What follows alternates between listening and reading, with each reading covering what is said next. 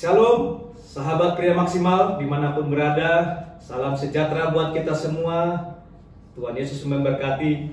Saya Desmond Pasaribu akan membantu acara pada hari ini dalam program Menjadi Pria Maksimal. Dan hari ini kita akan ditemani para pria yang hebat dan luar biasa. Pastor Heru Johananta sebagai pendiri Pria Maksimal dan juga Pak Titis Gasadena sebagai dari komunitas Pria Maksimal. Selamat. Apa kabar Pastor Heru dan Pak Titis? Kabar baik Pak Desmond. Shalom saudara sekalian. Eh, Tuhan memberkati kita lewat acara ini. Ya. Luar biasa hari ini Pastor Heru dan Pak Titis dalam keadaan kondisi berkati luar biasa dan hari ini kita akan obrolan tentang tema yang sangat menarik yaitu pria yang berdalih. Pastor Heru, apa tujuan utama yang bertema pria yang berdalih? Oke. Jadi saudara sekalian, hari ini kita akan berbincang-bincang, kita akan ngobrol bareng tentang satu tema yang tadi sudah disebutkan Pak Desmond tentang pria yang berdalih. Yes. Kenapa kami angkat tema ini? Untuk memberikan pengertian kepada kita semua dengan harapan juga eh, bagaimana kita kaum pria sungguh-sungguh menjadi pria yang tidak berdalih terhadap panggilan pelayanan kita untuk keluarga kita. Untuk mengawali dan memberikan kita pengertian, izinkan saya membaca firman Tuhan tentang pria-pria yang berdalih yang disebut oleh Tuhan Yesus. Saudaraku di dalam Injil Lukas pasal yang ke-14 ayat 15 sampai 18 saya akan membacakan firman Tuhan dan nanti ada beberapa ayat yang di sini saya akan bacakan yang melandasi kenapa kita bahas hari ini tentang pria yang berdalih. Apa sih itu ya? Saya akan baca dulu supaya kita dapat berkat dari ayat-ayat ini. Lukas 14 ayat 15 dan seterusnya. Perumpamaan tentang orang-orang yang berdalih. Mendengar itu berkatalah seorang dari tamu-tamu itu kepada Yesus. Berbahagialah orang yang akan dijamu dalam kerajaan Allah. Tetapi Yesus berkata kepadanya, ada seorang mengadakan perjamuan besar dan ia mengundang banyak orang. Menjelang perjamuan itu dimulai, ia menyuruh hambanya mengatakan kepada para undangan, marilah segala sesuatu sudah siap. Tetapi mereka bersama-sama meminta maaf. Yang pertama berkata kepadanya, aku telah membeli ladang dan aku harus pergi melihatnya, aku minta dimaafkan. Yang lain berkata, aku telah membeli lima pasang lembu kebiri dan aku harus pergi mencobanya. Aku minta dimaafkan. Yang lain lagi berkata, aku baru kawin dan karena itu aku tidak dapat datang. Maka kembalilah hamba itu dan menyampaikan semuanya itu kepada tuannya. Lalu murkalah tuan rumah itu. Saya membaca firman Tuhan sampai di sini saja. Saudara-saudara eh, sahabat pria maksimal di mana pun Anda berada, mungkin Anda sudah pernah mendengar ayat ini. Dan pada waktu saya mempelajari ayat ini, saya menemukan ada kebenaran yang indah di sana.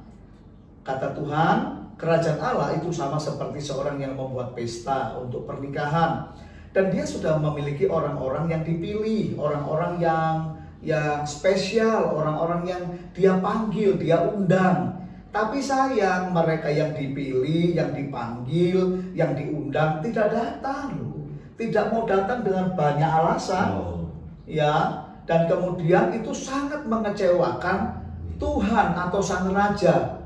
Nah, apa kaitannya dengan keluarga kita? Apa kaitannya dengan kepriaan kita? Banyak kaum pria tidak memenuhi panggilan atau undangan Tuhan tentang pelayanan kepada keluarga. Kaum pria kadang hebat di luar rumah seperti perbincangan kita pada pertemuan yang lalu. Iya. Mereka hebat di gereja, hebat di tempat kerja, di perusahaan, di komunitas, bahkan mungkin di tengah warga masyarakat di kampung. Intinya mereka hebat di luar rumah, tetapi lupa bahwa ada panggilan Tuhan di tengah-tengah keluarga kita.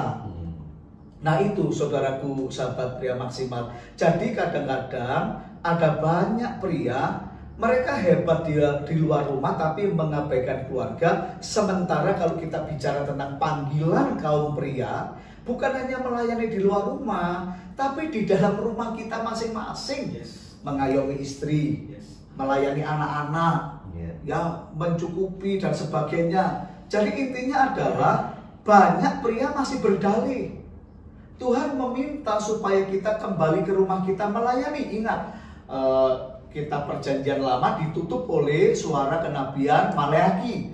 Maleaki pasal yang terakhir, pasal 4 ayat 5 dan 6 itu juga ayat yang terakhir sebelum akhirnya itu nanti diganti oleh perjanjian baru. Tuhan berkata tentang kaum pria, hati Bapak harus kembali kepada anak-anak Ya, dan anak-anak kembali ke bapaknya. Artinya hati seorang pria yang diwajibkan Tuhan pulang ke rumah, Hmm. melayani keluarga bukan hanya berdalih, bukan hanya menjadi pria yang beralasan kalau kalau melayani di luar rumah senang, tapi kalau melayani keluarga sendiri kadang-kadang mereka kurang senang. Mereka hanya menjadi orang-orang hebat di luar rumah mereka. Nah, kenapa kita angkat tema ini Pak Desmond? Karena kita ingin semua kaum pria, sahabat pria maksimal di mana pun Anda berada, Anda bisa masuk dalam pelayanan keluarga sama dengan kami.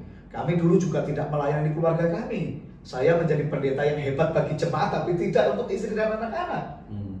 Sampai akhirnya saya menyadari bahwa panggilan Tuhan tidak hanya di luar rumah, tapi juga di dalam rumah. Amin.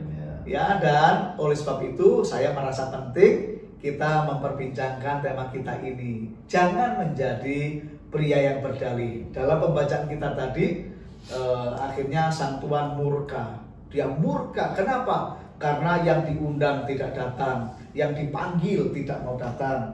Ya, dan itu akan terjadi. Banyak pria sebenarnya Tuhan murka kepadanya karena dia tidak melayani keluarga. Saya mungkin akan menyelesaikan dengan ini. Musa pernah hampir dibunuh oleh Tuhan Hmm. sebelum dia melayani Israel karena dia lupa menyunatkan anaknya. Oh. Oh, Ya, boleh dibaca kisah itu. Saya berpikir, kenapa ya Tuhan kok berikhtiar ingin membunuh Musa Ya. dan Zipora Hmm. menggantikan peran Musa menyunatkan anaknya. Hmm. Ini kan sebuah pertanyaan besar. Ya, Kenapa Tuhan panggil Musa, Tuhan pilih Musa di tengah jalan mau dibunuh? Karena Musa mau berangkat pelayanan untuk orang lain tapi lupa melayani anaknya sendiri. Ya. Karena hukum orang Israel, tanda orang pilihan Tuhan disunat Ya. Dan Zipora menggantikan Musa. Hmm. Nah sekarang banyak Pak Desmond, Pak Titis Iya, iya. dan sahabat kaum pria, pria-pria yang hebat melayani di luar rumah tapi tidak di dalam rumah. Jangan heran, tidak sedikit loh. Anak orang-orang sukses yang sangat nakal, tak terkendali. Hmm. Bahkan anak pelayan Tuhan, anak hamba Tuhan, anak gembala bisa sangat rusak dan tidak mengasihi Tuhan karena apa? Hatinya kosong karena bapaknya hanya melayani di luar rumah. Jangan menjadi pria berdalih. Mari pulang melayani keluarga. Mungkin itu Pak Wah, Desmond. luar Iya. biasa Ya. Pastor Heru. Ini tema yang sangat luar biasa para sahabat pria maksimal. Berarti kita sebagai pria harus memenuhi panggilan kita di tengah-tengah keluarga, Pastor. Ya. Jangan kita yang berdalih ya. Ya. Nah, untuk memperdalam ini, para pemirsa uh, di mana pun berada, kaum pria maksimal, kita akan mendengarkan lebih jelas. Pak Titis, Ya, Pak Desmond.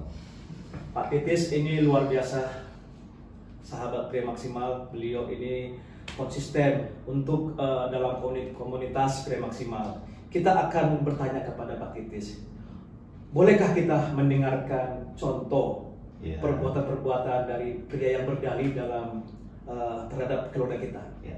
Baik, Pak Desmond, Pastor Heru, terima kasih untuk waktunya. Ya, saudara-saudara, eh, pria maksimal di mana pun saudara berada. Ini sungguh tema obrolan kita hari ini sangat-sangat memberkati sebetulnya.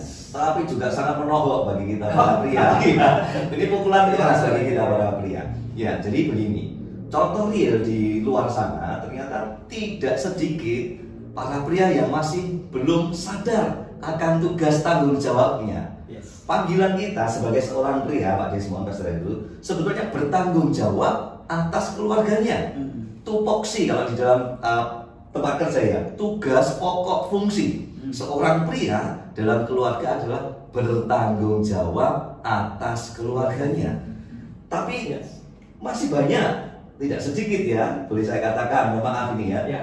Tidak sedikit para pria di luar sana yang belum sadar akan tugas panggilan sebagai seorang pria yang bertanggung jawab atas keluarganya. Contohnya demikian. Jadi kadangkala ada beberapa pria yang mengorbankan dalam tanda petik mengorbankan pasangannya Oh. untuk mati-matian menghidupi keluarganya. Oh ya. Sedangkan seorang pria di dalam keluarga itu ya semaunya sendiri, menghidupi dalam artian menafkahi, mencari uang, bekerja, bahkan ma mohon maaf ini ya, kadang-kadang sampai yang hutang itu yang mencari istrinya, Hmm. wanitanya. Ini Ya. sesuatu yang konyol sebetulnya di dalam kehidupan, Tidak sesuai firman Tuhan. tidak ya. sesuai firman Tuhan. Jadi mari kita sadar sungguh-sungguh bahwa tugas utama tanggung jawab kita seorang pria adalah bertanggung jawab di dalam keluarga, rumah tangganya. Seperti yang disampaikan Pastor Heru tadi, hebat di luar rumah, tetapi di dalam rumah ya kurang bisa maksimal. Pekerjaan di dalam rumah contohnya. Hmm. Kalau tadi sudah contohnya istri sudah bekerja di luar rumah. Di dalam rumah masih dibebani membersihkan rumah, cucian dan sebagainya, cucian pakaian dan sebagainya. Mengasuh anak-anak. mengasuh anak-anak bahkan sampai menasehati. Mendidik anak itu kadang-kadang diambil peran oleh wanita. Hmm. ini sesuatu yang sungguh kita harus bertobat. Saudara dan saya sebagai seorang pria harus bertobat. Bertobat bersama-sama untuk meresponi. Meresponi panggilan Allah yaitu bertanggung jawab Iya. atas rumah tangganya istri dan anak-anaknya jangan istri anaknya itu jadi bemper Nah, Iya, bemper itu ketika ada masalah yang suruh maju Iya. istri dan anaknya. Ketika ada orang yang menagih hutang, maaf ya tadi sempat uh, dibicarakan tentang hutang gitu ya. Ketika ada orang yang menagih hutang istrinya yang suruh maju gitu atau anaknya. Oh, papa, ayah, papi tidak ada di rumah padahal ada di rumah. Nah, ini sesuatu yang mungkin kita harus berbenah diri. Mari bersama-sama kita bertobat. Jadi banyak perkara yang mungkin kita harus benahi lah. Kita sebagai seorang pria yang diciptakan mulia di hadapan Tuhan, segambar dengan Allah, itu harus bertanggung jawab. Jadi panggilan. Pak Titis Iya, mau nanya. Pak Desmond, ya. Pada saat ada masalah dalam rumah tangga, Ya, sering kali eh, para pria maksimal itu atau suami Iya. sering berdalih ya, mencari-cari alasan. Alasan, iya. Mungkin itu maksudnya ya, eh, pria yang berdalih itu Iya. mencari alasan. Bisa lebih jelas mungkin Pak Titis, apa sih eh, makna daripada pria yang berdalih ini? Cari alasan apa dalam rumah tangga itu? Iya, jadi Menghindarkah atau apakah? Iya, jadi beralasan itu sebetulnya kadang kala ya Pak Desmond Esteru mungkin seorang pria itu belum bisa me, me- apa ya bertanggung jawab sepenuhnya Oh. atas panggilannya Hmm. sehingga dia berdalih beralasan karena Ngeles sebenarnya ya. ya ngeles ngeles Ngeles, ya, ngeles ya bahasa gampangnya sekarang ngeles tanggung jawab dia tidak bisa dipenuhi tidak bisa melakukan tanggung jawab dia akhirnya dia ngeles bahkan eh, kembali malah marah gitu Nah itu, Gitu. ada loh memang jadi pria-pria itu berdalihnya malah dengan sesuatu yang sangat tidak terpuji contoh Iya, iya. salah Ya. nggak mau Iya. terima kesalahan malah memarahi iya menang-menangan egois itu termasuk pria berdalih Iya. Hmm, ya jadi sahabat pria maksimal jadi mari ayo kita koreksi sama-sama Iya. Bagaimana kita di rumah kita iya bagaimana dengan eh, kemampuan kita dan kesanggupan kita mencukupi iya melindungi, Melindungi. hadir, hadir. Iya. Termasuk mencari nafkah ya Pak. Loh iya dong. Iya. Jadi kadang ada pria itu Iya. bermalas-malasan itu salah satu contoh Oh, yang benar. berdalih juga ya. Berdalih Karena di Alkitab tidak ada kewajiban Hmm. untuk wanita bekerja. Oh. Tuhan berkata di dalam kitab Kejadian kepada Adam ketika Adam berdosa, Tuhan berkatanya ke Adam bukan Hawa, Hmm. kamu akan berpeluh mencari nafkah. iya iya Jadi tugas mencari nafkah sebenarnya harus kaum pria. Kalau sampai istrinya mau membantu, itu anugerah. Anugerah, ya. Anugerah. Bukan Dan- berarti prianya malas-malasan ya di rumah Oh, ya. ya, ya itu Iya, tidak salah ya. ya. salah, tentu sangat salah. Jadi eh, pria berdalih itu ya bisa berdalih dari tanggung jawab, berdalih dari kesalahan yang Iya, dibuatnya, iya. Ya, Iya. berdalih dari tu- tugasnya tentang pengayoman, perlindungan, Iya, kehadiran, ya kan termasuk keimaman. Oh, Nah, oke. yang paling banyak berdalih itu keimaman. keimaman Karena apa? Karena ya tidak pernah mendoakan, Oh. tidak pernah uh, memimpin doa di dalam keluarganya. Dalam keluarga. Keimaman ini juga menjadi Iya. sangat parah Iya, uh, iya. persoalan pria yang Iya. berdalih. Mungkin itu Pak Desmond ya. Iya. Luar biasa. Jadi Uh, satu satu lagi Pak Desmond yang saya ingat, kadangkala seorang pria itu keras terhadap anak dan istrinya, tetapi tidak mau keras terhadap dirinya. Uh, nah itu ya, juga. itu termasuk pria berdalih. Oh iya iya. Pria yang berdalih egois. Oh itu Hanya bisa. untuk diri sendiri. Baik baik Pastor. Ya. Karena apa? Karena Tuhan berkata dalam firman-Nya, pria itu kan seperti Kristus Iya. kepada jemaat. Betul. Nah, jadi harusnya pria itu berkorban. Hmm. Dia habis-habisan, dia itu mengorbankan dirinya nggak apa-apa untuk keluarga dan dia bangga kalau bisa memberkati. Tapi banyak pria hanya memanfaatkan istri, memanfaatkan anak ya. Hmm. Oke, ya. Ya. Berarti memang kita sebagai pria maksimal tidak boleh bersembunyi di balik kesalahan kita atau kelemahan kita. Nanti kalau seperti gitu bisa menjadi pria sontoloyo juga ya kalau kita eh, selalu mencari alasan-alasan tertentu Alasan, ya. iya, Pak Desmond. Baik, eh, sahabat pria maksimal, kita ingin eh, bertanya kepada Pastor Heru juga dan Pak Titis ya. Jadi kita itu perlu berhenti menjadi pria yang berdalih di dalam melayani keluarga kita masing-masing. Bagaimana menurut Pastor? Oke, gini. Eh, saya ingin menjelaskan secara lengkap bagaimana caranya berhenti menjadi pria berdalih dan kemudian bagaimana kita eh, bisa berfungsi sebagai pria maksimal. Namun karena waktunya Pak Desmond, Iya. jadi kita harus eh, lanjutkan di pertemuan kita, perbincangan kita yang berikutnya. Baik, eh, sahabat pria maksimal, waktu juga yang membuat kita bisa berpisah pada eh, episode eh, kali ini Ya. karena untuk jawaban tadi pertanyaan tadi bagaimana kita bisa berhenti menjadi pria yang berdalih Hmm. sehingga kita bisa melayani keluarga kita dengan baik. Nanti kita akan berjumpa kembali di lain waktu dan oleh sebab itu tunggu uh, para pria maksimal kita akan ketemu kembali dan saya berdoa para pria maksimal di mana pun berada selalu tetap teguh Amin. kuat diberkati oleh Tuhan Amin. Amin. Tuhan Yesus memberkati kita akhiri acara program kita pada kali ini dalam tema pria yang berdalih terima kasih Pastor Heru dan Pak Titis Iya, sama-sama. Sebelumnya mungkin Pastor Heru kita tutup dalam doa Oke. untuk mengakhiri acara kita. Baik. Lain kesempatan kita akan membahas bagaimana jawaban-jawaban yang tadi ya. Baik, ya. Baik, eh, sahabat pria maksimal, kita akan tutup pertemuan kita yang singkat ini dengan berdoa. Saya bersama dengan kita semua, mari kita akan menerima berkat dari Tuhan. Kita tundukkan kepala. Bapak di surga, terima kasih buat program acara menjadi pria maksimal. Kami percaya bahwa ini adalah panggilan yang luar biasa untuk semua pria di akhir zaman. Sebab Tuhan yang mengajarkan kami kalau pria tidak kembali kepada anaknya, Iya. tidak kembali kepada keluarganya, Tuhan akan memukul bumi hingga musnah.